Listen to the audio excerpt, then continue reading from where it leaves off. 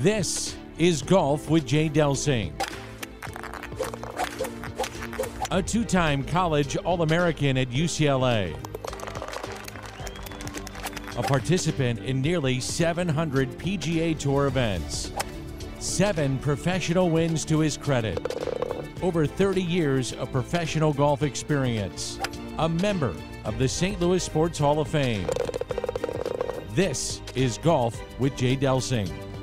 Hey, good morning. This is Golf with Jay Delsing. I'm your host, Jay. Sitting down with my buddy, Pearly, John Perlis, caddy of over 100 PGA Tour events with me, author, former business owner. What are you currently doing? Currently a business owner and formerly a business owner. I'm, I'm always going to be a business owner. So we formatted the show like a round of golf. Uh, the first segment is the on the range segment. It's brought to you by the Gateway section of the PGA. Just delighted to have these guys back involved with the show. And we thank the over 300 men and women across the area that are tirelessly working to enhance our golf experience, make the courses, run the events, do what they do. It's just fantastic. We're also giving away a dozen TP5 golf balls. Send me an email, jay at jdelsinggolf.com, and you'll be entered. Put balls in the subject somewhere along the line. We've got Jeff Thornhill. Thorny, thank you for the, the golf ball feature. It's terrific. I'm getting emails every day and questions. It's it's just terrific. Pearl, we're skipping our social media because we don't care. We're canceling you. But we are not canceling Bob and Kathy Donahue at Donahue Painting and Refinishing. 314 805 2132. Guys, call these folks. Besides, uh, you'll be better off knowing them. They're great people. They will come to your home. They're professionals and they will beautify it. 314 805 2132. All right, Pearl, so we got a show today. This one, I'm really excited about our Gateway Spotlight feature. This week it's on Nathan Charnes. Nathan is up for Secretary of, of the PGA of America, National Secretary. So, Pearl, what that means is if Nathan wins this nomination, and I really think he will, he's going to, in three years or so, be the president of the PGA of America. That's how that rotation works. Isn't that cool? That's awesome. That's a big responsibility because they got a lot of work to do, that group. I will tell you what, he is the man for the job. And uh, yeah, I'm excited to get to talk to him. Good for him. I think the PGA has been making strides recently, and it's, it'd be great to keep it going. Man, we had a lot of golf on this weekend, Pearl. The Women's U.S. Open. Okay, they played down at Pine Needles. Man, and the golf course on Sunday was just a beast. They had some really treacherous hole locations. There was some three putting going on. There was a, there was a little bit of there was a little bit of everything going on. But one thing that stood out in my mind, John, is there was only one score under par. Yeah, that that's pretty pretty unique to say the least. And Minjee Lee certainly took it to the rest of the field. Uh, she was pretty spectacular. By the way, do you know where she's from? So the easy answer would be to say uh, South Korea. So I'm not going to say that. I'm going to say she's from Southern California. She's an Australian, but that was close. Actually, that wasn't very close, but that was an No, it wasn't even close. But how'd you like my reasoning? I've always liked your reasoning. That's why we get along so well. And we also end up in very bad spots because we get along with our reasoning. But uh, yeah, that's a that's a good point. That's a good point. I did not know she's from Australia. Yeah, well, obviously you didn't. So hey, a couple other things here. So she wins by four shots. And where does our good our good favorite that we like to track all the time, Nelly Korda, coming off of her uh, surgery for her blood clots, still manages a tie for eighth at two under, but but that's eleven back of Minjee Lee. That's some serious playing. She wins by four, and uh, really after that, there's a thirteen under, nine under, seven under, six under. So uh, she won by a lot. She uh, outclassed the field, no question about that. But uh, let's talk a little bit about Nelly. I mean, she made it back and the the first competition she gets to face is a U.S. Open style. I mean, that is pretty intense. If you looked at some of her rounds, I mean, she she's just a superstar. She is a superstar. She is a great face for that tour.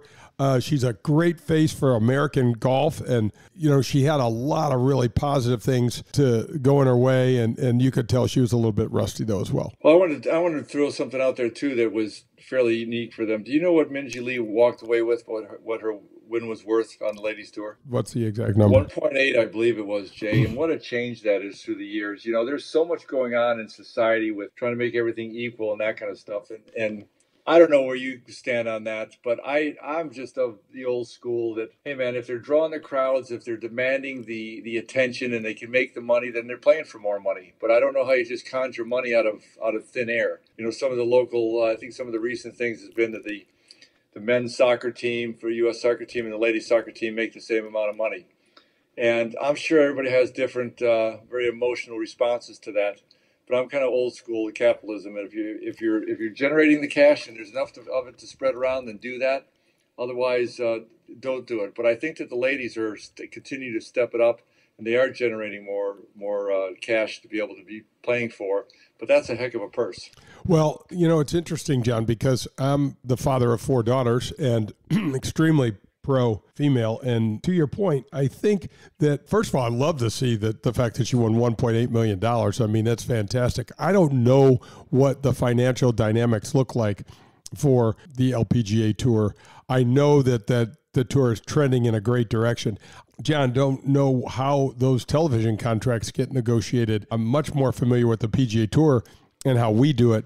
I mean, I want the girls to be playing for as much as they possibly can. We we you have to have the financials. I guess my answer is you have to fi- have the financials work, meaning, you know, you're not going to sit there and pay the winner of the Women's U.S. Open $15 million when it's going to completely blow up the pay structure of that tour. Well, that's part of that's part of my point, and it, depending on what decrees come down from what courts and different you know lawsuits and stuff like that, that's when it gets a little goofy as far as I'm concerned.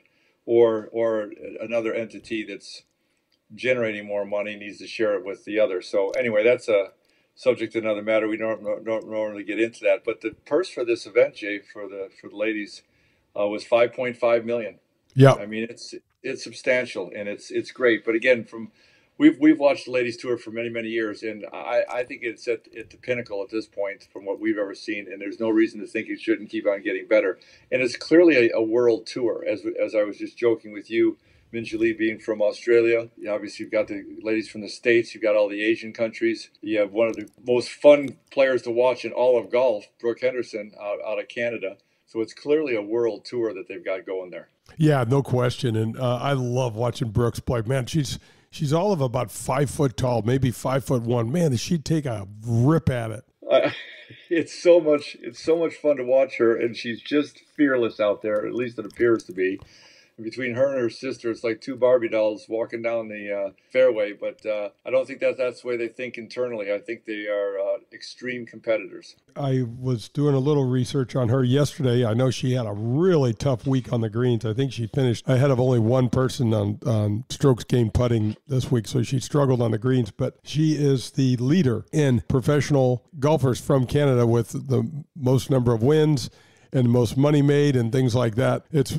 uh, I'm not sure about the money made because Mike Weir might made more be, because of the Masters win and things like that. But gosh, it's um, she's a really fun person to root for. Absolutely, uh, just tons of energy, and obviously she's starting to get into the commercials now and getting more and more notoriety, which from my vantage point, she deserves every every penny of it. Let's uh, switch gears and go over to the memorial event. Man, what a great event! It's always great to see Jack Nicklaus out there. Um, Billy Horschel kind of walks away with it. It was pretty uneventful Sunday, to be honest with you. You you could see that Jack put a huge premium on hitting fairways this week. If you put the ball in the rough, you paid some high high penalties. The only thing I guess the, probably the most exciting round and most exciting player to watch was Max Homa. We'll talk about Max a little bit. What did you see? What are you excited about? He, clearly an up and comer. Yeah, he's and, won twice this year. He just most recently won down at um, TPC of Potomac. He won at Riviera. He won the Fortinet Championship. He also won there. I think he's got three wins. He's two of those wins are this year, and I think he finished fifth, John, with a double bogey on ten and a double bogey on eighteen and shot 69, which is a lot of birdies over at Jack's place. Totally disagree that it was a little bit uneventful, but it was only uneventful the last couple of holes. Billy Horschel's putting on the backside saved his bacon. There was just putt after putt that if he's if he's missing those, let alone the whatever it was, 50 footer or whatever the heck he made for for eagle. Jack pointed it out at the end, just how how clutch his putting was, because he was a little bit all over the place, kind of what 12th, 13th, 14th hole type of a thing And to make that those types of putts on a Sunday under that pressure, he made it uneventful because of that. There was about a four hole stretch where it could have turned drastically and opened up to, to much of the field, or at least to Aaron Wise, who came in second. Uh, but it was fun to watch. It was, it was interesting to see the changes. What do you think about the changes, Jay? What, what was kind of the perception? And I don't know how much they changed the courses when you guys when you were playing. But you know, you're used to a certain memorial, certain layout of the golf course, and the way the golf course plays. Jack blows it up and makes it play kind of significantly different. Yeah, no, no question about it. You know what, Pearl? We're going to hold on to that question and take that on on the front nine. I got to do the tip of the cap segment. We got to wrap up the on the range segment. So the tip of the cap it's brought to you by our buddy Colin Byrne over at the Dean Team Volkswagen of Kirkwood, 314 966 0303. Pearlie and I are both driving vehicles that Colin supplied for us. Love them both. But I'm tipping my cap today to the PGA Tour. And I'll tell you why. Really appreciate the way our commissioner, Jay Monahan, helped navigate us through some weird times. You know, we didn't lose a couple of tournaments, but not many. The game was back on television for spectators. we didn't have spectators right away, but I really thought Commissioner did a good job. Later in the show, we're going to talk about this LIV Saudi Golf adjective you want to put on there. But I, my hat is tipped to, to Commissioner Monahan. I'm really excited to see how he's going to handle the situations, the Kevin Na resignation and things like that. So um, I'm tipping the cap to the PGA Tour, and I'm thanking Colin Byrne at 314 966 0303 and the Dean Team Volkswagen of Kirkwood. Pearl, that's wrapping up the On the Range segment. We'll be right back with the front nine. On the Range with Jay Delsing is brought to you by TaylorMade. This is Golf with Jay Delsing. The front nine is coming up. Okay, folks, I think it's safe to say we're all ready to get back to some sort of normal life. And for me, that means I want to travel. AAA Travel is your one stop shop for all of your travel needs. You feel like a cruise? Well, no problem. How about an all inclusive trip to a beach somewhere in Mexico? AAA has got you covered. How about a trip to the Florida Keys, Las Vegas, or even Pebble Beach? All of that is just a click away. When I was a kid, my dad used AAA and their TripTik map service to get us to his home state of Wisconsin every year. We also used their wonderful roadside assistance in the middle of nowhere Illinois, when we had car trouble. But listen up AAA is so much more and has so much more to offer you and your family. They take care of everything. I mean, everything for you and your vacation. When you're ready to travel, do it with confidence. Contact a AAA advisor today and go to AAA.com backslash travel for all of your travel needs. Folks, do you need a new car, truck, or SUV? Then the Dean team of Kirkwood is the place for you to go. 314 966 0303 and go see Colin Byrne. He just got me into a new SUV and I love it. Boy, did they make the experience painless and super, super easy. Most dealers don't have any cars in their lots, but at Dean Team of Kirkwood, Colin has an entire parking lot full of new and used cars. You don't want a VW? That's no problem. They have Audis, BMWs, Mercedes, anything you want. Colin and the Dean team of Kirkwood will go get it if they don't have it. Call them at 314 966 0303 or go to deanteamvwkirkwood.com. The Dean Team for all your car buying needs. You're listening to Golf with Jay Delsing. For golf tips, news on the latest equipment, and everything golf log on to golfwithjdelsing.com. The front nine is coming up. I want to tell you about my friends and longtime supporters of this show, Marcone. Yes, they are incredible community stewards. Yes, they are the largest distributors of GE appliance parts in North America. What you don't know, they are spearheading, led by owner and St. Louis and Jim Sowers, a new service dog program with and in conjunction with David Feherty and the 24 7 Battle Buddy program. Jim and Mar- Marcone are ensuring that a minimum of two service dogs a year will get partnered with a veteran hero in need. These dogs are expertly trained, connected with their veteran master, and then magic starts to happen. These dogs are retrained to meet the specific needs of their warrior and to help them successfully navigate everyday life. You can learn more on Facebook at Troops First 24 7 Battle Buddies or reach out to me at j at jdelsinggolf.com and I will fill you in on more of this program. It's time for the Gateway PGA Spotlight. To learn more, visit PGA.com. Hey, good morning. This is Golf with Jay Delsing. I'm your host, Jay, and this is the Gateway Spotlight. I'm sitting down this morning with my buddy Nathan Charnes. And Nathan, the 2005 Assistant of the Year, the 2008 Horton Smith Award recipient of the year. 2012, you got the big one, Gateway Professional of the Year, the Herb Graffis Award in 2015. But we have even a bigger fish to fry on this show today. Nathan, tell us about what's going on and thanks for joining me. Oh, hey, thanks, Jay. I appreciate being on. And yeah, I'm excited. I'm excited to, I'm actually starting my 19th season at Winghaven Country Club, which is just a, a great club with a great group of members. Uh, we've got an exciting future with the new ownership group just started this year. But I'd say most importantly, I've been, been nominated to serve as an officer of the PGA of America. So I'm actually, I'm the second candidate in the 50 year history of the Gateway PGA to run for national office. So it's a 12 month process that started last November. I just came off the national board of directors and now I'm campaigning for well, it's it's half over, so I've got six months to go. So there's three candidates for national secretary. There's a gentleman from New Jersey, a gentleman from Dallas, Texas, and then myself.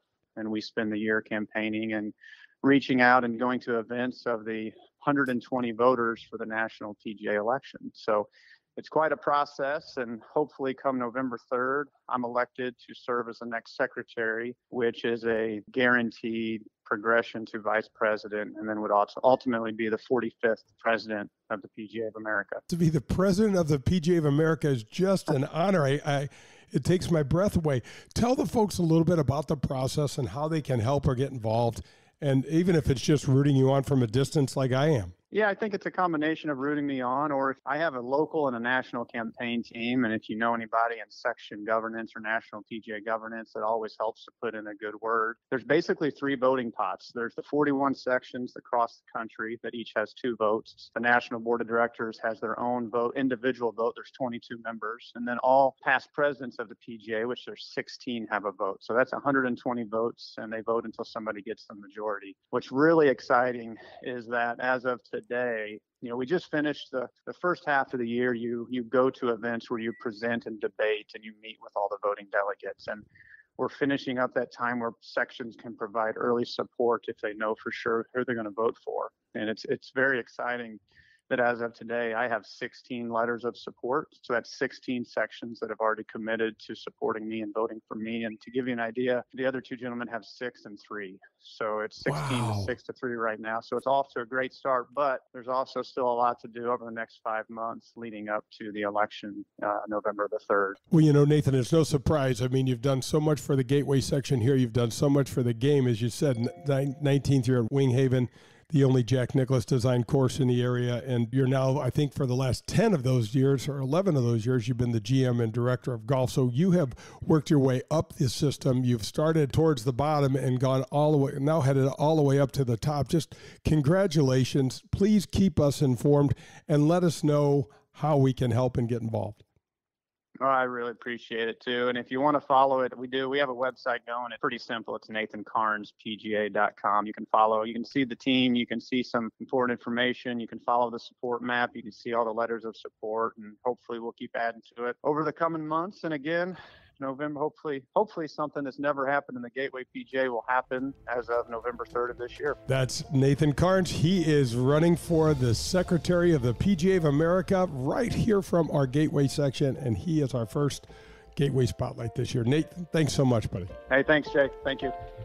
That was the Gateway PGA Spotlight on Golf with Jay Delsing. To find out more, visit PGA.com. I am proud to welcome the Gateway section of the PGA back to my show. Whether you're pulling into your favorite driving range, public golf course, or country club, there is an excellent chance that the staff there is part of the over 300 men and women PGA professionals at over 100 facilities that make up our Gateway section. I grew up watching so many of these fine men and women getting to the golf course at dawn, leaving at dusk, spending their entire day running events, giving lessons, and growing this great game. PGA Reach, Drive Chip and Putt, PGA Hope, and the fantastic PGA Junior League are a few of the examples of the programs run by these same PGA professionals. Go to gatewaypga.org to learn more or to find your next PGA professional for your next lesson, go to pga.com. The Gateway PGA, growing the game we love. This is Golf with Jay Delsing. The Front Nine is presented by the Ascension Charity Classic, September 5th through the 11th at Norwood Hills Country Club. For tickets, ascensioncharityclassic.com.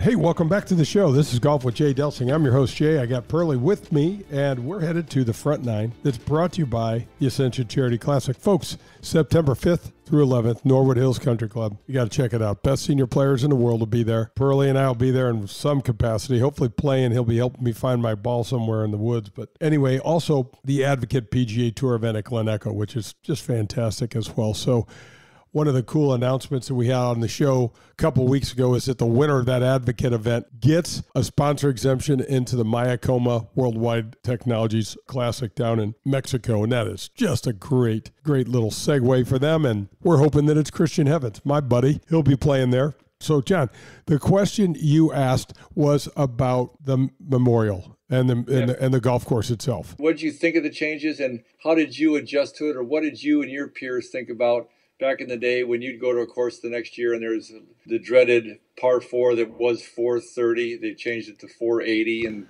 well a par five that was semi-reachable they added either changed it to a par four or added 60 or 70 yards. Yeah i mean a lot of times it just depends on how much i like the course going in you know the old course and, and how much success i had. I never i never loved the ideas of them changing it if i had a bunch of success. At a uh, and of course, you know, the scores we're getting and the players were, were kind of outgrowing Muirfield Village, uh, for lack of a better term, and they were uh, overpowering it. Huge characteristic of any Jack Nicklaus golf course that you'll ever go to is really, really generous fairways. You don't see many super, super tight holes on Jack Nicklaus golf courses one after another. They're usually pretty ample room to drive it in. And he still had quite a bit of room, but he made it extremely penal if you miss the fairway. And I think that's what he wanted to do. And I think it reflected in the scores. He was trying to hold the scores down to a reasonable number and not let this thing turn into that birdie fest like you see almost every week on the PGA Tour. Well, it's such a beautiful layout, and, and everything's just so pristine. It's it's amazing. Uh, I was just wondering when they're when they're changing that up because nowadays they're making a lot of those changes when they can because the game is is changing, or the, what the guys, the, the quality that's coming to play at these events each week has certainly been changing. Absolutely. What did you think about uh, Jack and Barbara Nicklaus play yellow and that whole thing? Wow. We talked about this on your show before. I mean, what he's done down in Florida in particular, and I'm sure around uh, Muirfield as well, uh, him and Barbara for, for the children's, for the hospitals. But now this is a worldwide effort. If you saw those yellow kind of pins that they put on the guys on their hats in particular, uh, on their caps when they're playing golf. That's what that's about. And they're just really encouraging people to take up different chapters throughout the country, throughout the world, and promote this. And, and all this money uh, collectively is going to, uh, to different children's hospitals. It's uh, pretty worthy. And uh, Jack has obviously been a phenomenal player and ambassador to the game but man, the money these him and his wife and, and the rest of the people in this effort are raising is is staggering. What's really interesting and what sticks out in my mind is you have a guy like Jack Nicklaus that's able to not only do what he's doing in Columbus, Ohio, as you mentioned, where the where Muirfield Village is, um, and and down in Florida, but now he's got the entire world enjoined. And I mean, only a, an ambassador like Jack Nicklaus can and Barbara Nicklaus can pull something like that off their leverage to create such an impressive legacy, John, is really awesome. You can tell, you know, for these guys that they're at a different stage of life now and they probably see things just a little differently, and it's really fun to watch. Absolutely, and I think the uh, the players really get into it. It's uh, it kind of joins everybody uh, together in, in some common cause. It's uh, it's it's awesome. There's a lot of great causes out there, but you've got the firepower of the Nicklauses behind you you can really make things happen. Yeah, so that was pretty neat. And um, Workday is a cool sponsor to have there. I, I really enjoyed the interview they had with their CEO on there that just talked about how Jack's always been kind of his boyhood idol. It's got to be a thrill for these these businessmen uh, regardless of how successful they've been, to be able to sit in the booth with Jack and strap their name of their company onto his tournament, that's a pretty cool deal. Absolutely. Well, hey Jay, well, before we move on, I wanted to make see if you could talk a little bit about what you know about Billy Horschel as a player, as kind of how he operates. They're really talking about how meticulous and detailed he is and hardworking, because he was certainly out there when you were out there. What did you see in, in him? Uh, how, how did how did you see how he operated and, and how he was received by the other players? Right, I only got to play with him a couple times, but he's he was definitely uh, he's a Florida Gator fan and a extremely hard worker, extremely physically fit. By the way, you could tell that as well. I think it, it all said uh, the way I would answer this question, Pearl. Look back at how he was talking to Amanda Renner when she said, you know, you've had leads before, you've won tournaments before. I think he's won six events, and but you've never had to sleep on a five shot lead. You've never had to deal with that different type of pressure. What do you think? And he goes, you know what? If I can't win, I'm not doing my job. And he clearly looks and has broken this thing, the components of this stuff down into a job for himself. It works. It works for him. He's a fiery player, Pearl when we were doing TV, we all we had to do is let him swing and kind of lay out because he would describe what the heck's going on and sometimes it'd be pretty graphic and fun. Yeah, I like him. I, I, I like what he does for the community there in Jacksonville. He's one of these guys. You got to remember, here's a guy, Pearl, that's won the FedEx Cup. You know what I mean? We're not talking about this guy that just goes around and wins a small event, knocks one off here and there. When his game's on, I mean, he he doesn't take a backseat to anyone. He sure doesn't, and it's kind of fun. It's always interesting to see at the end of the tournament who's kind of kind of come running out of the crowd. His little boy and the two girls. I, will tell you, as cute as they were, I have to tell you, him and his wife, and his wife was cringing at the time, but Jack Nicklaus was so gracious to obviously greet Billy when he get out, came off the golf course. But then his wife was there, and, and she said hi to uh, Mr. Nicklaus, and then the, the, the kids, and the one little girl would not look at Jack Nicklaus. She's shaking his hand, and she's just I don't know, she's shy, intimidated, or just want to go chase her dad. But it was pretty funny. Obviously, they don't really know who he is per se, and uh, it was it was just interesting. But it, it was cute as could be, and it was just kind of fun to see a guy that uh, certainly has respect of being a hard worker out there and kind of kind of walking the walk of a PGA Tour player.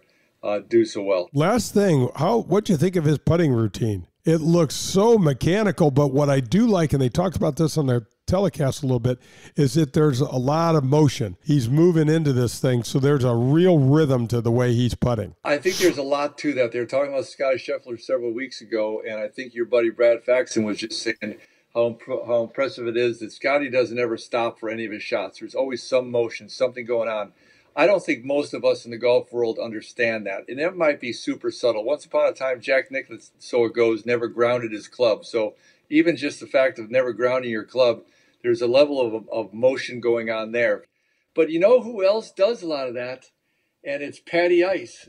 Patrick Cantlay keeps on kind of inching in and inching in, and at the last second, uh, pulls that left foot back, which always seems so weird to me. And then two seconds later, he's pulling the trigger.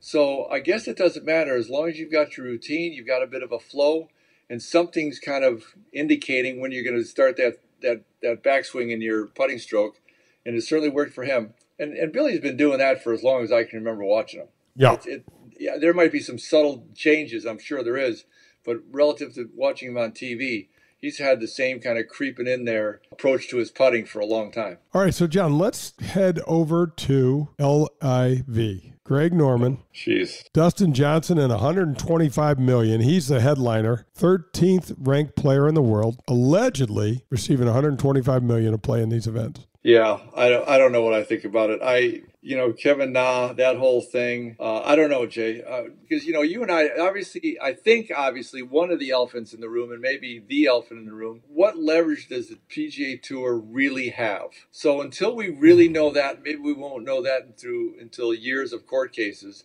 But until we really know that, I don't know what to think of any of this. I think you're not alone. I mean, I think that's the that's the biggest elephant in the room. I mean, Kevin Na clearly is resigning because he wants to avoid any sort of penalties, any sort of uh, uh, fines, any sort of suspensions that the tour may may hand down. I don't know if that's even necessary. I mean, I, I would have not done that had I been Kevin Na. I certainly wouldn't have done it timing wise. Maybe that's the advice that he got, and maybe it's safe. You know, maybe he can resign this year and, and check to see if he can uh, re up. I, I just don't know. I don't. I'm not familiar with anyone ever doing that. I don't know. I, I've never seen this in my career. I, I really don't know. You know, some of the questions were so, so can he play in the U.S. Open? Can he play in the Masters? He could definitely play in the majors. They are not PGA Tour co-sponsored. They have the PGA Tour has little to no affiliation with the majors. So it just remains to be seen an awful lot of this stuff. We are going to take a break and break on the front nine here, and we will pick this up on the back nine. Don't go anywhere. There's more golf with Jay Delsing. Hey, St. Louis, the Ascension Charity Classic, presented by Emerson, is back this September. Don't miss the excitement when the PGA Tour champions best compete again, all for charity, September 9th through the 11th at Norwood Hills Country Club.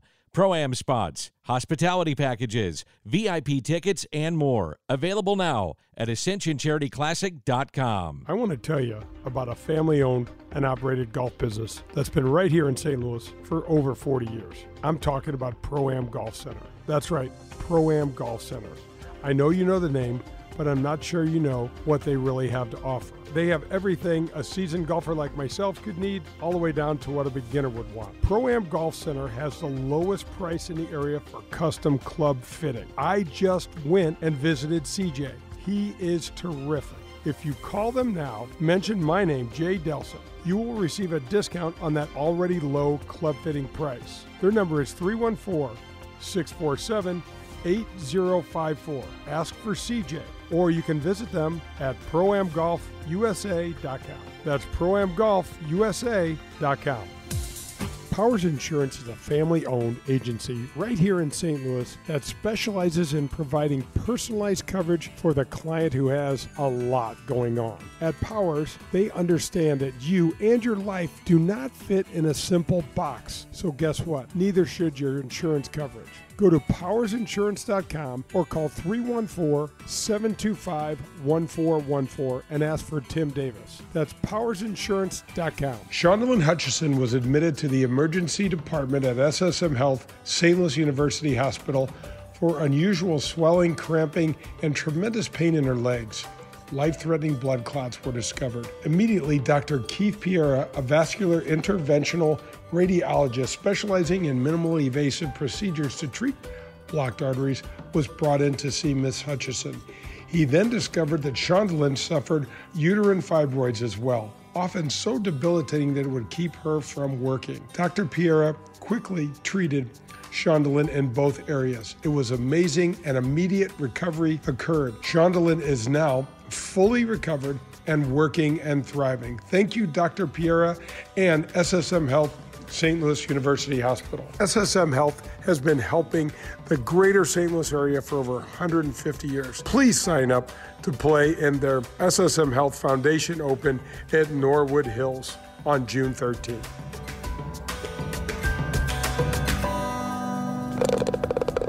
This is Golf with Jay Delsing. To learn more about the game of golf, latest equipment, and golfing tips, log on to jdelsinggolf.com. The Back Nine is presented by Pro Am Golf. Hey, welcome back. This is Golf with Jay Delsing. Pearlie and I are here, and we are headed to the Back Nine. And the Back Nine is brought to you by our friends at Pro Am Golf. Guys, pick up the phone and call 314 647 8054. Talk to CJ and get fitted. Call them 314 647 8054 and call, talk to CJ and get fitted. That's what you got to do. It'll help your game so much. You can visit them at proamgolfusa.com, but get yourself fitted. That is the message. Let's jump back into the LIV, the Greg Norman. The whole thing is awash with confusion and chaos and everything. And then we have a guy like Kevin Na sending in his resignation for the PGA Tour. Well, first of all, what does that even mean? Who who else has ever resigned from the PGA Tour? You are a tour member. I mean, I'm a member of. I'm still a member of the PGA Tour. I still pay PGA Tour dues. I mean, Pearl, he's giving up his right to vote on certain things. I mean, what's what in general, short of Kevin Na, right now, and uh, maybe some guy that didn't want to pay his dues. Does anybody ever resign from the PGA Tour? You, are no. killing yourself. You're killing yourself to get out there. Who's ever resigned before? I think that'd be a cool trivia question. I, I'm thinking maybe nobody. I don't know of anybody resigning. So here's what Kevin said. Here's the quote. I am, and, and, you and I, he's a heck of a player, interesting guy. He matured a bunch on the tour, but he's definitely a different cat. He said, I am sad this year that I have chosen to resign from the PGA Tour. Then he goes on to say, This has not been an easy decision and not one I, ta- I take lightly. I hope the current policies change and I'll be able to play on the PGA Tour again. I'm just trying to take that from the standpoint of the commissioner. So if you are going to keep these guys off the coming back to the tour, if you're going to kick them off for a while or kick them off forever if they go play in this LIV, but then the one guy thinks that if he resigns, he can, has a better chance of coming back than the guys that don't resign, even though he's resigned for the same reason the other guys haven't. I, I it, is it's it's it's a, so look. So Kevin Na was the number one amateur player in the world. He came out on the PGA Tour. I played golf with him several times. The guy's an unbelievable putter, and he's made a phenomenal amount of money and a, and a great career. But man, he's grown up a lot. He was 19 years old playing on the PGA Tour, and he was a handful, just a handful. So, guys, here's the story. This is my this is my first introduction to Kevin Na. He's wearing bright yellow hat with bright yellow pants and bright yellow shoes. And he had this clothing deal from this a South Korean company. I'm playing with he and Jose Maria Olazabal, who is swearing in Spanish all day long because all he can he's got two shots. He's got a duck hook and a double duck hook and it's low and he's hooking this driver. And you know i'm slicing my driver so i shake hands with him on the first tee and i don't see him again until 18 because he's hitting the hooks and i'm hitting slices. And anyway kevin Na comes up to me in, in just this arrogant way and he said is this your first year on the pga tour?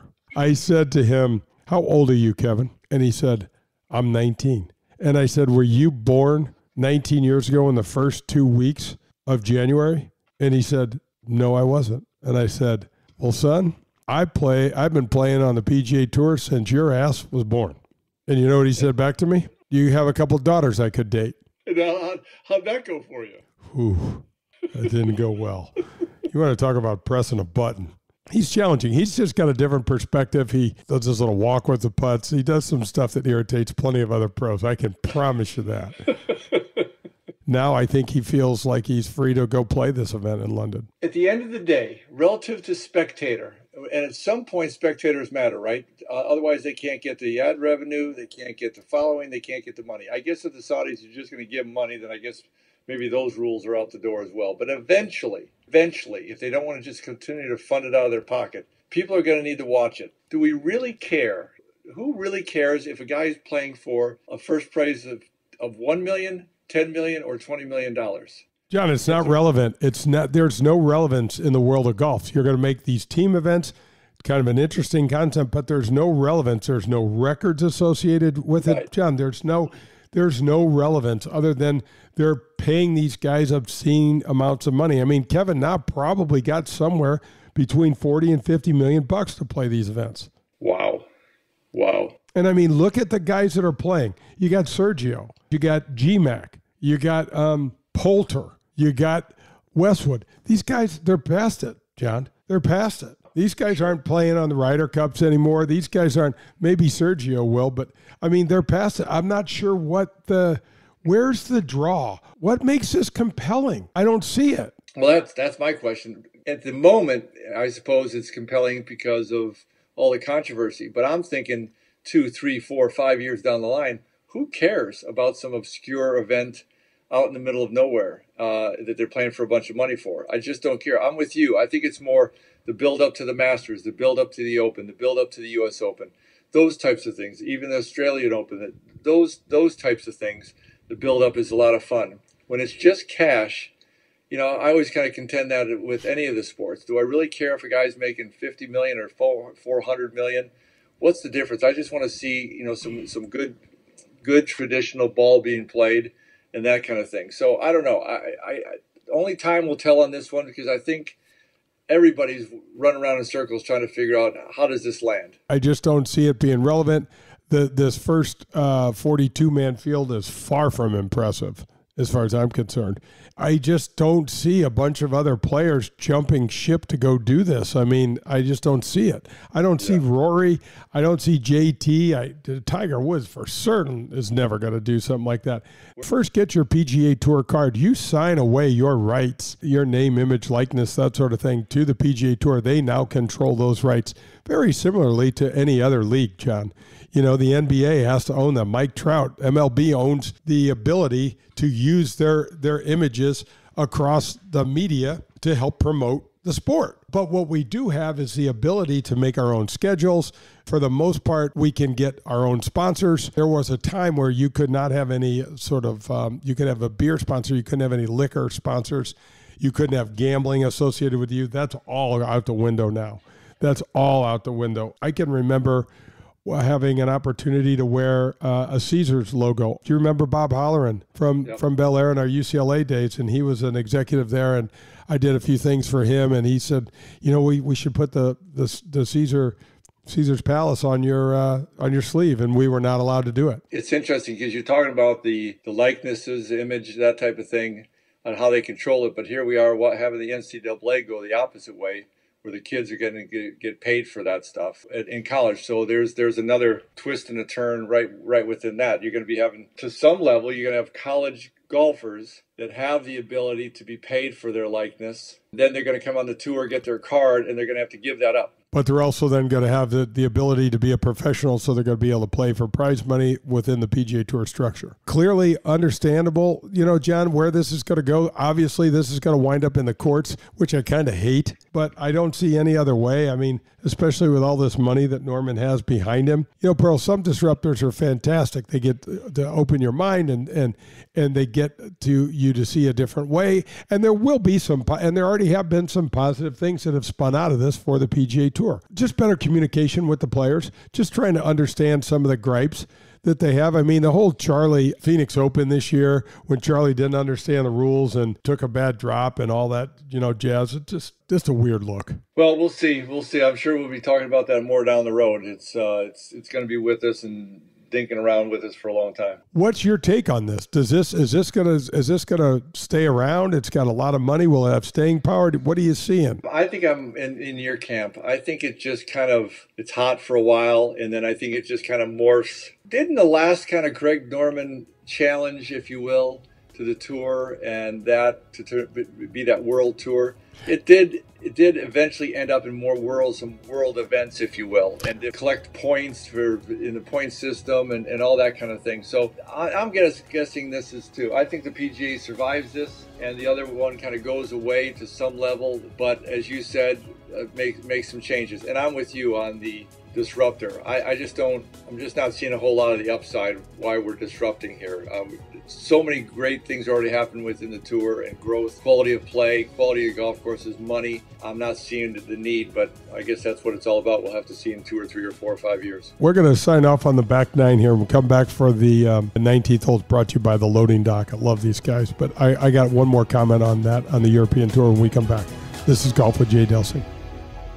Folks, are you in the market for some additional protection for your ride? You need to call my friends at Vehicle Assurance. Their number is 866 341 9255. Sherry Fain is the owner and president, and she and her team are committed to helping you with your unexpected auto repair bills. They are committed to finding the right protection for you, your budget, and your family. They only work with the top vehicle service providers in the country. Get the protection and the peace of mind you deserve. That's Vehicle Assurance, 866 341 9255 for a free quote. 866 341 9255. Hey, St. Louis, the Ascension Charity Classic, presented by Emerson, is back this September. Don't miss the excitement when the PGA Tour champions best compete again, all for charity. September 9th through the 11th at Norwood Hills Country Club. Pro Am spots, hospitality packages, VIP tickets, and more. Available now at AscensionCharityClassic.com. After my knee replacement, I was able to swing the golf club again without any pain. SSM Health Physical Therapy guided me through the rehab process, and when I was ready, one of their specially trained KVEST certified physical therapists put me on the 3D motion capture system. It was awesome. They evaluated my posture, alignment, and the efficiencies of my swing. They gave me golf specific exercises to help make my swing more efficient and repeatable. Call 800 518 1626. Tell them Jay sent you for special pricing. Your therapy, our passion. How would you like access to 90 holes of golf? Well, that's what happens when you join at Whitmoor Country Club. You get access to the Missouri Bluffs, the Links of Dardenne, and the Golf Club of Wentzville. And guess what? No cart fees included in that deal. There's no food and beverage minimums, there's no assessments. They have a 24 hour fitness center, two large pool complexes, three tennis courts. Year round social calendar includes holiday parties, picnics, date nights, live music. They even have a kids club for your children and much, much more. There's junior golf, junior tennis, and swim teams available. This is a family friendly atmosphere and they have a wonderful staff. If you get out there, you got to poke your head in the golf shop and say hello to my friend Bummer. He is a terrific guy and he will help you with your game and show you around. And don't forget, there are golf leagues, skins games, members tournaments, and couples events available all year round. Visit WhitmoorGolf.com. That's WhitmoorGolf.com. Hey, do you like wine? Have you heard about the hottest new wine bar in St. Louis? It's called Wild Crush Wine Bar, and it's located in Town and Country on Clayton Road, just behind the Straubs. Have you ever experienced self dispensing wine machines? Well, they are here. The only place in St. Louis and most of Missouri that you'll find them, and it's at Wild Crush. You can choose your size of pour, and Wild Crush will pour the freshest wine in the area for you. The organic argon gas system used at Wild Crush keeps this wine pristinely fresh for up to 60 days. So if you're tired of drinking wine that's been open for a few days, come into Wild Crush for the best and freshest wine selection in the area. Go to wildcrushstl.com and come have one with us.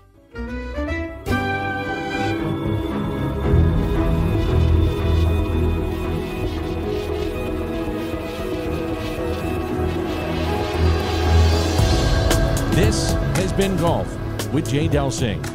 To learn more about Jay and the services he can provide any golfer, visit jdelsinggolf.com. You'll see the latest in golf equipment, get tips from a PGA pro, and you'll learn more about the game of golf. That's jdelsinggolf.com.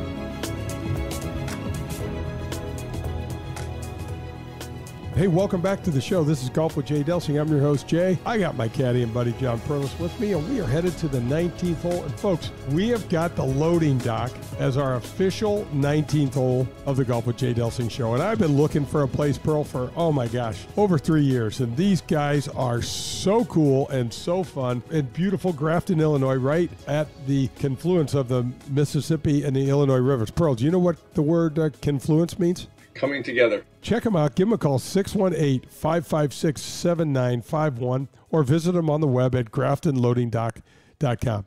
Peter Allen's a great guy over there. Peter, thanks for being on the show. All right, so John, I've got a comment to make. I think that the European Tour as we know it, either in trouble or going to change dramatically. And what I'm thinking is going to happen is that the PGA Tour is going to cherry pick some of the better events and fill in our schedule on this wraparound portion where we head to California and uh, up and down. I think they're they go to Vegas and, and some various spots, and I think they're going to fill those in eventually with European Tour events, with the better European Tour events.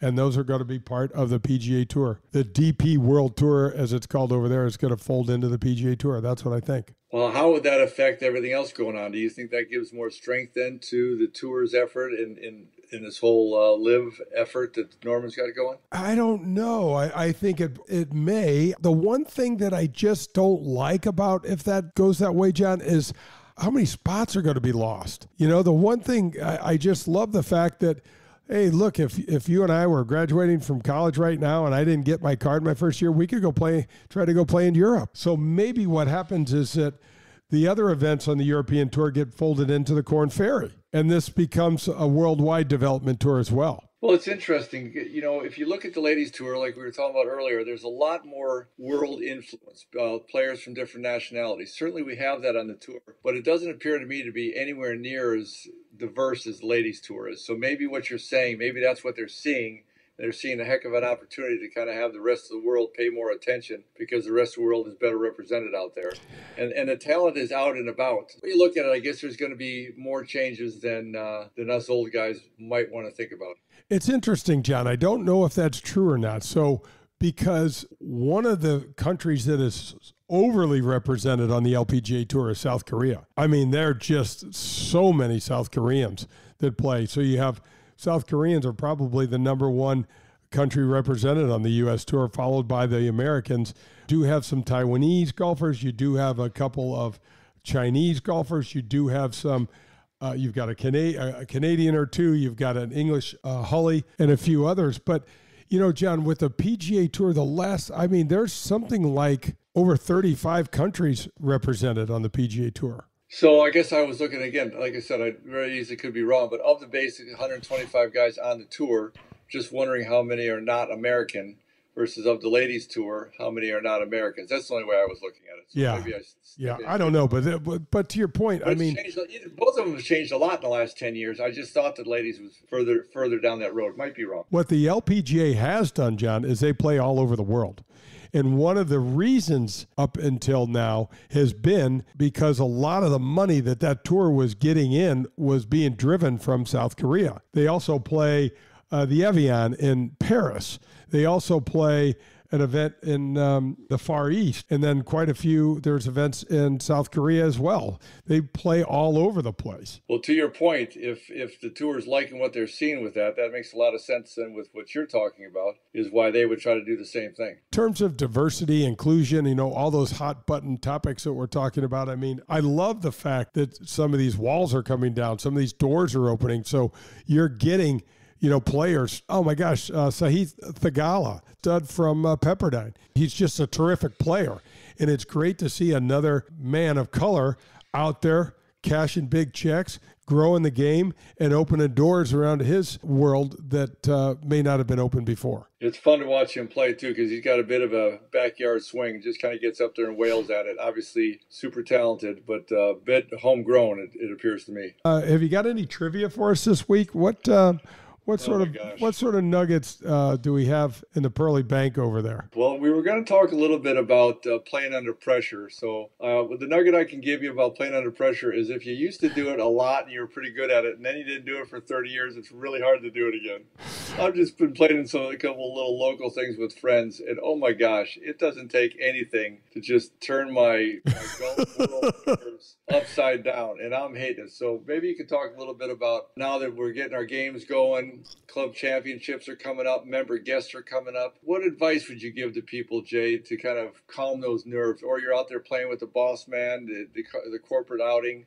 What do you do to calm nerves a little bit? You know what, Pearl? Let's start with talk a little bit about the things that you're dealing with from a physical standpoint and a mental standpoint. What is the biggest challenge for you uh, physically and mentally? My hands just absolutely twitch when I'm putting just absolutely. I get up over it. I'm starting to see my line. I've worked very, very hard to see my line. I have a good feel for it. I can even kind of feel it as I walk up. And then I, I take that backstroke, and I'm somewhere about halfway through the backstroke and certainly halfway through the downstroke, my hands are just twitching all over the place. I'm like, well, how the heck am I going to make anything here? And so then you start questioning that because that's a feeling I don't have when I practice. So what the heck do I do with it? I remember when I played and I would get nervous. It was a different kind of nervous to kind of get through it.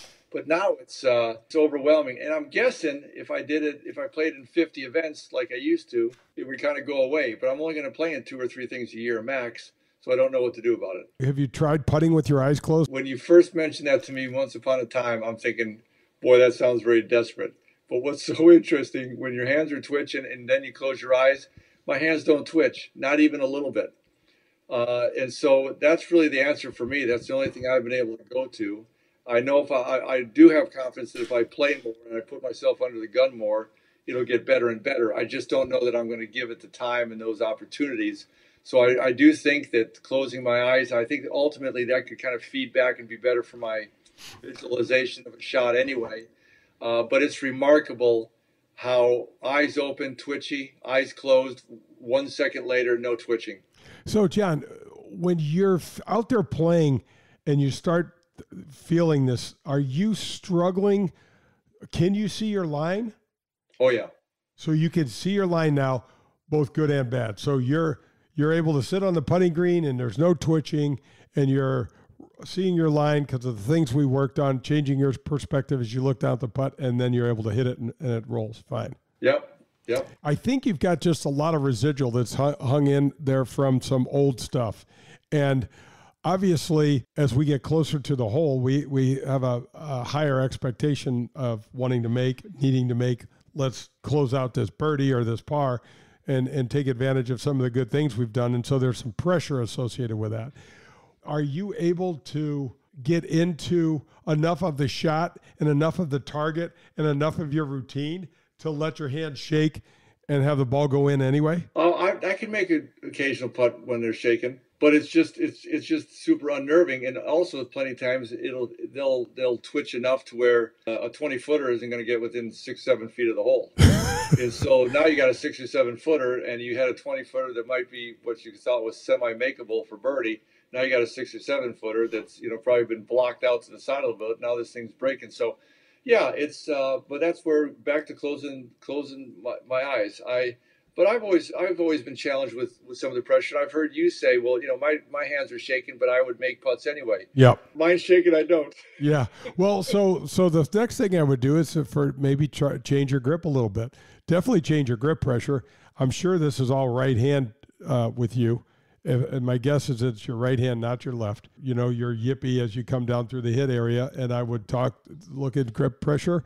I would also think of maybe going left hand low or getting those hands closer together and really, really a light, as light grip as possible in your right uh, hand and fingers for sure. You know what happens when I start feeling those sensations that I don't feel when I'm practicing? All the flooding of, you know, it's like trying to explain to somebody how to throw a ball or catch a ball how much do you open your fingers? How much do you bend your elbow? How much do you bend your wrist? When do you close your hand? And that's what happens because all of a sudden I get out there and there's just very different feelings. And so then all the things start creeping in my head. Well, if I'm going to do that or this this feeling, what do I need to do to compensate? Now that we're talking and I kind of reflect back, I can remember early on in college days how bad it would be, but I played enough events and just had enough experience I got to the other place, Jane. I know you can re- relate to this. I got to the point where playing under competition was really the only time I could play with the dam. If there wasn't something to play hundred percent. Yep, hundred uh, percent it wasn't terrible, but I, there was just no focus and I, and I couldn't play. So if there wasn't some money on the line or, or competition on the line, I couldn't play. Now it's a little bit the opposite way. I go out there in the morning by myself and I, am pretty damn impressive. But uh, I get there where I where I start caring, and it's uh, at this stage. So somehow I got to play in more events, I guess, if I want some of this to go away. But I'll try the other things that you're talking about. Yeah, I can't wait to be together, Pro. This is going to wrap up another show, but don't go anywhere. We're gonna get we're gonna examine you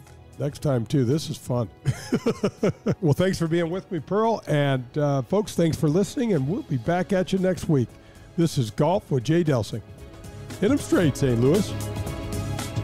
This has been Golf with Jay Delsing. To learn more about Jay and the services he can provide any golfer, visit jdelsinggolf.com. You'll see the latest in golf equipment. Get tips from a PGA pro and You'll learn more about the game of golf.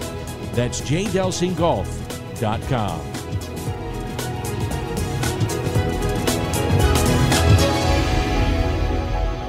I've been looking for over three years for the perfect place to be the official 19th hole of the Golf with Jay Delsing show, and the search is over.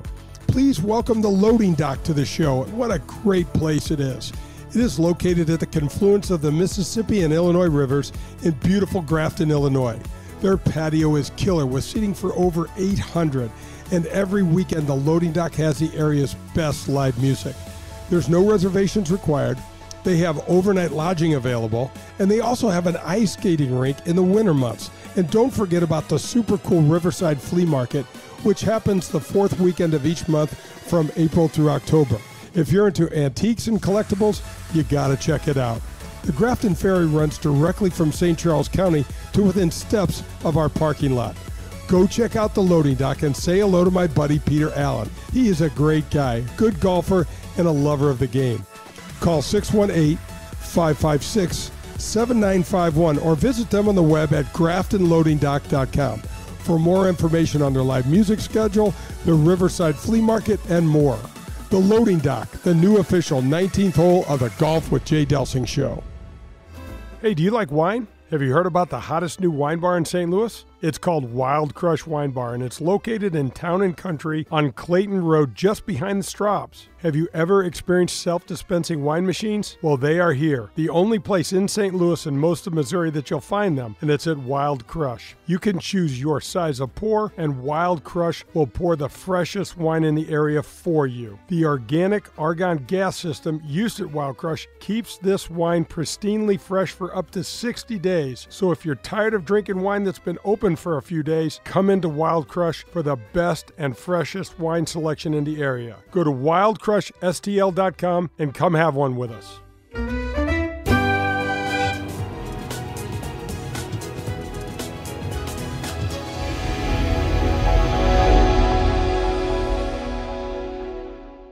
Hi, this is Daniel Leroux from the Real GM Radio Podcast, and we are through four games of an incredibly fun, competitive NBA Finals. And the absolute star of Game Four was Stephen Curry. Curry, probably the best Finals game of his illustrious career 43 points on 14 of 26 from the field, including 7 of 14 on incredibly difficult threes. Also had 10 rebounds, contributed defensively, and he was the Warriors' offense, particularly in the half court. And Boston, phenomenal defensive team, working really hard trying to stop what Curry did, and they just haven't been able to do it enough in the series. Curry, we're not all the way through, and it's only a 2 2 series, but 34 points a game on incredible efficiency, 49% on basically 13 three point attempts per game. It has been a performance for the ages from a player who has given fans so many great moments over the years and probably will do it for years more. And now we have th- at least two, maybe three more games of the finals. Hi, this is Danny Leroux from the Real GM radio podcast. BetOnline.net is your number one source for all your betting needs and sports information, including the latest sports developments, league reviews, and news for this year's NBA and NHL playoffs, as well as Major League Baseball. BetOnline is also your continued source for all of your sports wagering information, including live betting, esports and scores, podcasts, news, and the fastest and easiest way to check in on all your favorite sports and events, including MMA, boxing, golf. Head to the website today or use your mobile device to learn more about the trends in action at BetOnline, where the game starts.